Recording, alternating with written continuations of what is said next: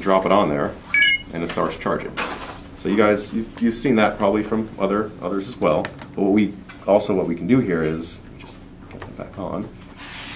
You can basically move this anywhere on the pad, any any orientation, and it's going to keep that charge, as well as as well as lifting it off, and it's going to still keep that charge. So we get that vertical distance. So that's with one phone. We've got another another phone as well. Put that on, and you got two phones charging simultaneously on the pad. Again, I can move them both around. And they both keep that charge. So that's two phones. Notebooks. Again, you're think about this being on your desk, embedded somewhere in the desk. You have your notebooks, your papers spread around there. You just you know where your charging area is. You just drop it on there, and it charges. So you can see what kind of distance that gets. So that's on the on the pad. We'll give you guys a chance to get some hands on with this as well after we're done showing the demo. So I'm going to take these two phones. I'm going to put them back on the pad. And if I can get that fit on there right, the tablet. So we've got a tablet and two phones charging on this pad at the same time. Unfortunately, these lights keep going off, but They're trying to conserve battery. that's right. That's right. So again, this is the multiple device types. You know, big spots in here to put the pads in and put some caps on top. It's just it's just there. So all I need to do is just put it on the area. And it starts charging with with the uh, little iPhone error there, but you get it going. And actually, this this charging area is actually bigger than the uh, the outline here.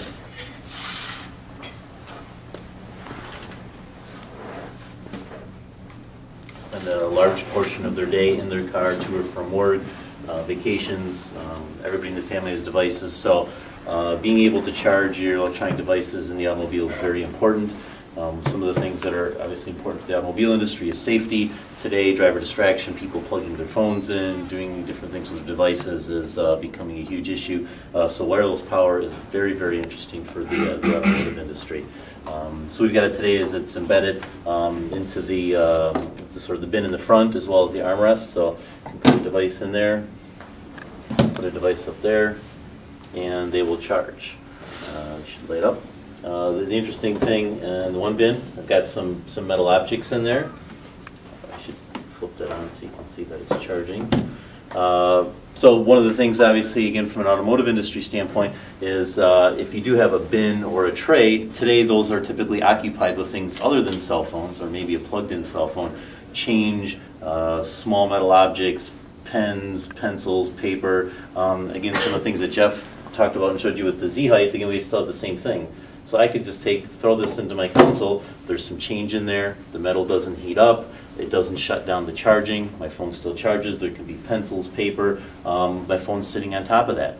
It's charging, uh, being on top of that. What is that, about half an inch or more of wood? Thank you very much, appreciate And you it. can basically just pick this up and see really how far that's gonna go.